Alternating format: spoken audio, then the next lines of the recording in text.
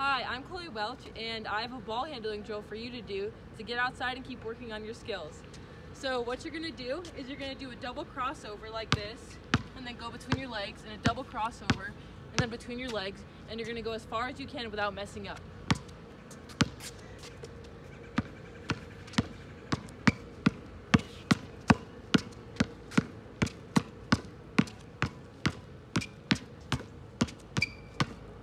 your turn to try?